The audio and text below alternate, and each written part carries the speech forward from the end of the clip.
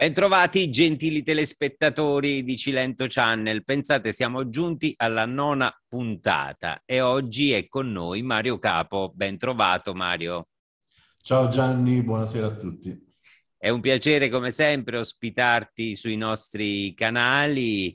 Oggi faremo una disamina eh, di, ehm, eh, diciamo, delle, per quanto riguarda le prossime elezioni amministrative che si terranno, come ormai già sanno i nostri telespettatori, e ce lo auguriamo in primavera 2022, Covid permettendo. Eh, permettimi di dire innanzitutto eh, di ringraziarti per essere qui con noi e per essere sempre pronto, insomma, a rispondere a quelle che sono le mie chiamate.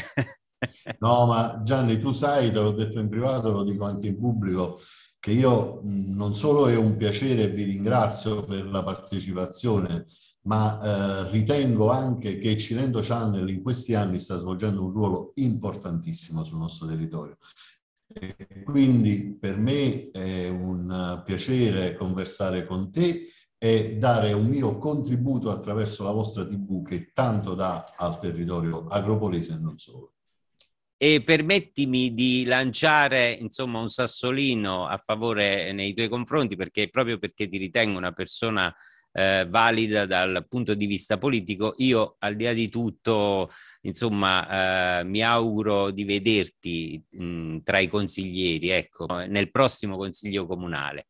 Quindi eh, a meno che non ti candidi a sindaco.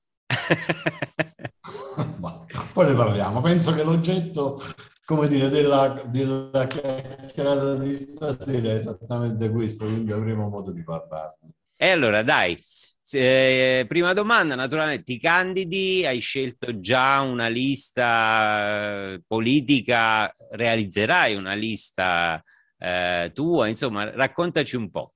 Ah, approfitto, approfitto per complimentarmi con te anche per l'iniziativa della lista che stai animando, perché credo che sia una bella iniziativa a prescindere dalla collocazione che avrà poi nello scacchiere finale. Invece rispondendo alla domanda, guarda Giovanni, io credo che una cosa che noi dovremmo evitare, noi tutti, in questa fase, è quella di mh, fare apparire quello che almeno per me non è.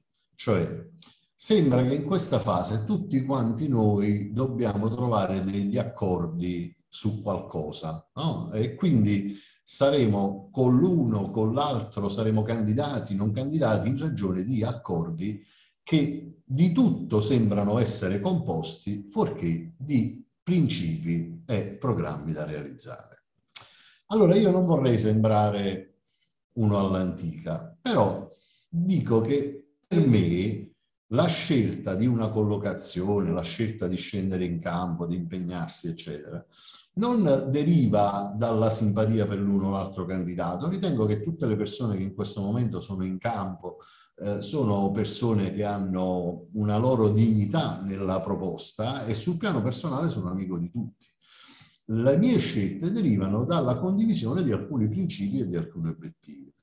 Ne dico, come dire, due proprio facendo una macro suddivisione principio da cui veniamo e obiettivo al quale dobbiamo andare. Faccio proprio una schematizzazione. Il principio ispiratore di una mia eh, partecipazione alle elezioni amministrative è parte da una mia valutazione che è quella di ritenere che gli ultimi 15 anni del governo della città di Agropoli siano stati per moltissimi aspetti fallimentari. Io non ritengo che questi 15 anni siano stati proficui per la città e abbiano prodotto un risultato nel rapporto costi-benefici a favore della città. Io mi rendo conto che in questi dieci anni ci sono stati consensi anche plebiscitari a favore di questa, diciamo, compagine amministrativa, quindi mi rendo conto di essere anche isolato un po' in questa valutazione. Se pensiamo che il candidato sindaco di dieci anni fa ha ottenuto il 90%, mi rendo conto anche di essere un po' isolato. Però io con orgoglio rivendico che allora appartenevo a quel 10% e oggi l'ispirazione di una mia eh, azione si fonda ancora su questa mia valutazione. Quindi, prima cosa che ci deve essere è la condivisione di questa analisi. Questo non significa che chi ha partecipato a queste amministrazioni negli ultimi anni non possa oggi avanzare un'altra proposta. Significa però che deve in qualche modo rivedere la propria analisi di partecipazione a questo filone amministrativo e ritenere che questo filone amministrativo vada cambiato. Quindi penso di essere stato chiaro nel principio. Obiettivi. Gli obiettivi sono riportare un'amministrazione sana dell'ente. Secondo me è assolutamente vergognoso che un comune come il comune di Agropoli abbia sistematicamente bilanci in bilico. Non uso la parola dissesto perché ha una accezione tecnica quella del dissesto, dico in bilico, ed è assolutamente vergognoso che bilanci come quello del comune di Agropoli si basino su una volta l'autovelox e un'altra volta il Covid, perché se non ci fossero stati l'autovelox e il Covid, il comune di Agropoli sarebbe in dissesto da un po'. Allora, questo è un obiettivo che non riguarda un aspetto ragionieristico dell'ente, cioè al cittadino dovremmo far capire che se i conti del comune di Agropoli vengono gestiti in un determinato modo, il primo che ne ricava benefici è il cittadino stesso, perché il comune di Agropoli si regge sulle entrate dei cittadini e le entrate vengono determinate in ragione di un'amministrazione. Per cui obiettivo amministrazione trasparente ed efficiente è essenziale per me nella prossima consultazione. Secondo obiettivo essenziale è la qualità e le opportunità economiche che offriamo ai giovani di questo territorio. Io quando faccio l'analisi dei 15 anni passati faccio a me stesso e a chi mi ascolta una domanda. A fronte di impegni di spesa per 100 milioni di euro, è stato dichiarato dagli amministratori, quindi non lo dico io. A fronte di un indebitamento mai raggiunto nella storia del comune di Agropoli, la qualità della vita degli agropolisi, le opportunità economiche di lavoro e di prospettiva per i giovani agropolisi sono migliorate a tal punto da sostenere questo gigantesco indebitamento? Io penso che se la risposta degli agropolisi è sì, allora bisogna che diano continuità a questi 15 anni. Se la risposta è no, come io penso, è necessario che ci sia una discontinuità totale nella accezione e nel modo di vedere l'amministrazione prossima. Dove mi collocherò? Laddove questi principi sono più condivisi. E poi possiamo passare a un'analisi più specifica. Complimenti, no, è davvero un'analisi politico-economica che insomma troverà secondo me eh, dei riscontri. Eh, la domanda prossima però è questa. Mario, purtroppo per contrastare eventualmente l'amministrazione uscente eh, c'è bisogno di un accordo, eh, diciamo, plurimo, no? più eh, partecipanti dovrebbero insomma unirsi, ma sembra che ci sia un po' di crisi nel centrodestra, diciamo in quel settore dove tu probabilmente ti rivedi, no? Come fare per superare questo uh, gap? Sì, allora se oggi guardiamo i numeri, diciamo storicamente, dovremmo dire che il centrodestra, diciamo sul piano amministrativo, perché non è così sul piano politico, il centro-destra sul piano amministrativo è minoritario e non ha un'organizzazione territoriale tale da poter ambire a una competizione alla pari, cioè sembra che i numeri stiano da un'altra parte. Però io continuo a ritenere, Gianni, che la differenza la farà la proposta. Cioè, noi siamo a 5-6 mesi dalle elezioni, siamo in ritardo, cioè nel senso che dovevamo già presentare un candidato sindaco con una proposta che io auspico sia quella che ho delineato.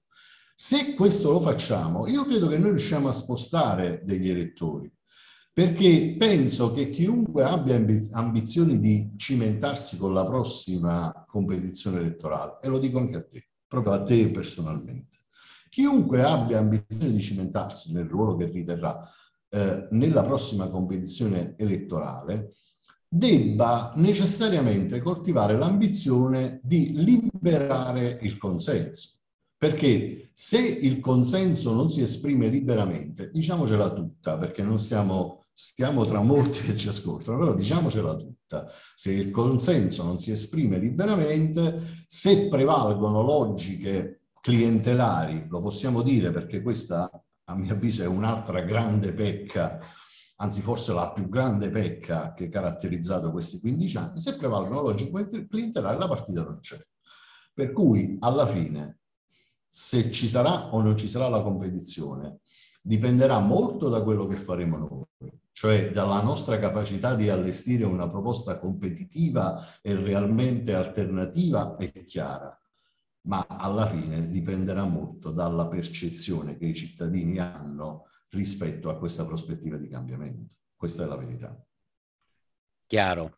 Senti, come analizzi invece ehm, la divisione in maggioranza che ultimamente abbiamo eh, verificato, nel senso che eh, il Presidente del Consiglio, che era un alleato di Coppola, si è dimesso. Come, come leggi questa... Con una battuta dico meglio tardi che mai, cioè, nel, senso che, nel senso che io stimo il Presidente del Consiglio, amico mio Massimo Laporta, eh, con il quale molto spesso insomma, non abbiamo condiviso alcuni atteggiamenti più tattici che politici in verità. Eh, dico meglio tardi che mai e mi auguro che faccia parte di quella schiera che ehm, intendono rivisitare questo passato dei 15 anni e apportare a questo passato le dovute correzioni. Vada bene, Giovanni, faccio solo un'evidenza. Non vorrei essere facile profeta come lo sono stato in altre occasioni se queste correzioni nel metodo amministrativo non vengono apportate, il futuro del, dell'ente comune di Agropoli sarà tutt'altro che roseo. Io credo che siano essenziali queste correzioni. E come diceva un grande filosofo, che chi ha creato il problema non lo potrà risolvere. Quindi per risolvere il problema ci vogliono persone che non l'hanno creato. In questa eh, condizione si può trovare, a mio avviso, anche una coniugazione con esponenti che hanno fatto parte della, dell'amministrazione comunale che l'hanno interpretata. Penso per esempio al mio amico e collega Roberto Mutalipassi. Penso che Roberto, pur nella diversità delle azioni politiche, pur in un contesto che io non condivido assolutamente, ha una capacità di analisi e di visione delle cose che potrebbe sicuramente essere utile in un proseguo dell'amministrazione che ha obiettivi diametralmente opposti a quelli che sono stati perseguiti in passato. Certo. Coniugare le due cose non è semplice, però certo. può essere utile perché mette insieme un po' di numeri in più, la conoscenza delle cose e la volontà di cambiare. Cioè, se queste tre cose trovano una coniugazione, l'alternativa diventa molto più praticabile. Certamente. Senti, eh, veniamo più strettamente a, al tuo uh, amico Emilio Malandrino, che spesso insomma uh, vi si vede insieme anche a pranzo, a cena, siete insomma da sempre uniti nel centrodestra. Eh, tranne qualche parentesi, mi sembra, di Malandrino qualche anno fa nell'UDC eh, vabbè, chiudiamo parentesi, altrimenti il discorso diventa lungo e quindi... No, guarda, qualsiasi ti dico una cosa, posso interromperti? Come no? La nostra è una chiacchierata amichevole e sicuramente i telespettatori insomma si stanno mia, comunque interessando e divertendosi, no? La mia amicizia nei confronti di Emilio è tale che potrebbe andare anche a rifondazione comunista, non cambierebbe assolutamente nulla. Eh, Quindi eh, questa è la premessa essenziale per cui diciamo il nostro rapporto politico è assolutamente secondario rispetto al nostro rapporto di amicizia. E infatti, e, e proprio per questo motivo io ti chiedo, state ragionando insieme per scegliere un ipotetico candidato che sembra essere almeno dai rumors attualmente il più vicino a voi, Emilio Cianciola? Allora, io mi sono fatto promotore, prima che avessi uno stop, eh, diciamo, causa Covid, eh, mi sono fatto eh, promotore di alcune riunioni in cui ho cercato di eh, mettere insieme tutte o quasi tutte le anime che vorrebbero contrapporsi alla, uh, all'amministrazione attuale nella prossima tornata. In questa tornata c'era uh, Nino Cianciola, in queste riunioni, scusa, c'era uh, Nino Cianciola, c'era Natalino Caccamo, c'era Raffaele Pesce, Michele Pizza, Antonio Domi, ne dimenticherò sicuramente qualcun altro. Ehm, il gruppo di ABC, quindi voglio dire, ehm, credo che era tutto il panorama diciamo, delle possibili alternative. La piattaforma sulla quale ho cercato di fare un ragionamento è se condividiamo l'obiettivo di una alternativa, tutti dovrebbero fare come faccio io, e lo dico con, diciamo, con scherzo ma anche con serietà. Come faccio io? Per me il risultato di giungere a un cambiamento dell'azione della macchina amministrativa e della compagine che ha guidato Agropoli negli ultimi 15 anni è prioritario. Prioritario significa che viene prima di ogni ambizione personale pur legittima. Per cui ho chiesto a tutti uno sforzo di guardare così le cose, cioè non scegliamo il candidato sulla base di criteri che poi non si comprendono. Scegliamolo all'interno di questo gruppo dove tutti quanti ci impegniamo a sostenere il candidato prescelto, a partire da me, in relazione al raggiungimento di questo obiettivo. Devo dire la verità, questa riunione, diciamo, ripetuta, ha trovato un momento di stop. Non so se per diciamo, ragioni di carattere personale o se per ragioni di carattere politico, ma la dovremmo riprendere. Per cui quando tu mi dici eh, il nome di un ipotetico candidato sindaco, io ti dico che per me tutti i candidati sindaci vanno bene se fanno questo tipo di ragionamento molto, molto chiaro. Senti, invece eh, per quanto riguarda eh, il disguido, l'ho detto pure a Emilio, eh, tra eh, lui e, e, l'ex sindaco di Castellabate, anche tu sei dell'opinione che non bisognerebbe eh, accettare una candidatura dello straniero, tra virgolette? no, più che straniero, più che straniero. Costabile è un amico, più che, più che la candidatura dello straniero, io, a prescindere dalle questioni di Costabile o di altri, eh, sono un po' contro i sindaci di professione. Ehm, perché io ho fatto un ragionamento semplice, credo lo possa fare ogni cittadino.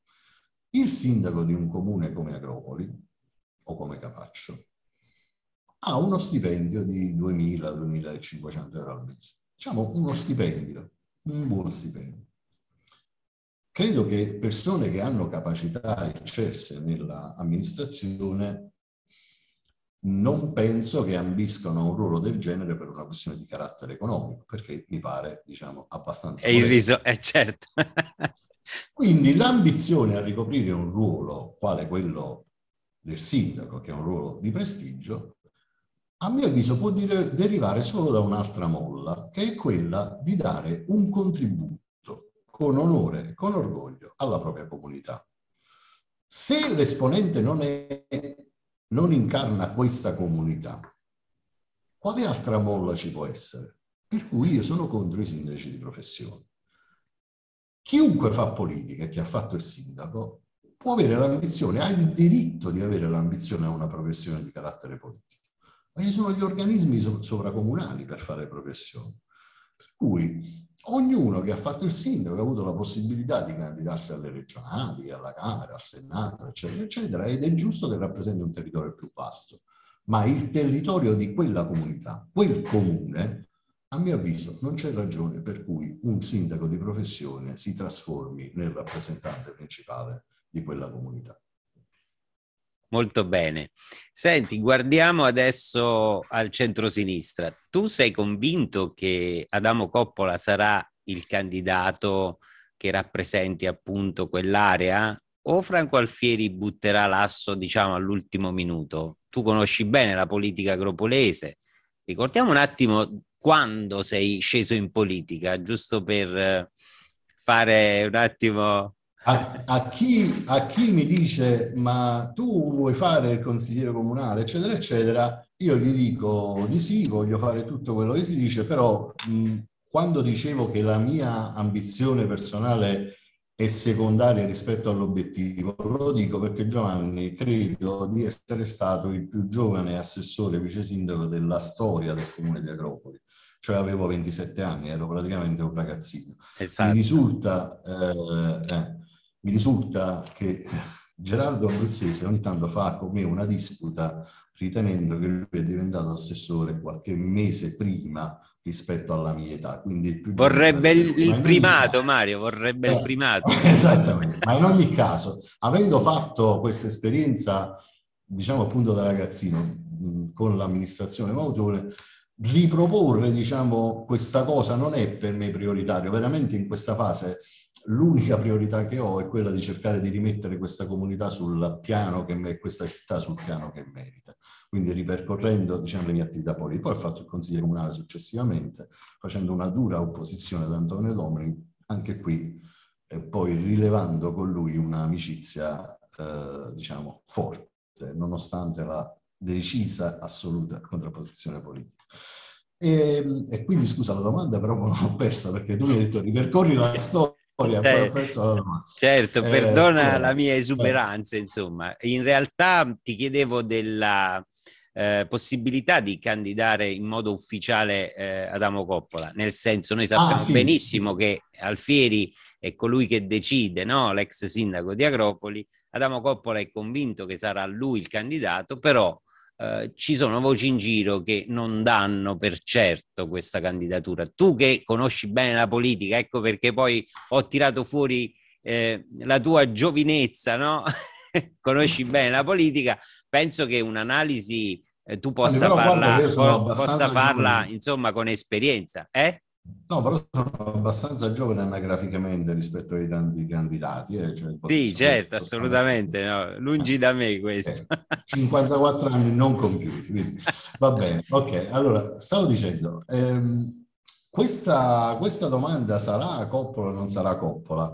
Eh, io se fossi il sindaco attuale, con ciò che ha espresso e con ciò che mi pare che voglia esprimere, cioè ritenendo che lui ha fatto bene e che possa essere il prossimo sindaco di Agropoli, non mi sognerei neanche per un minuto di attendere l'investitura da parte di un altro soggetto.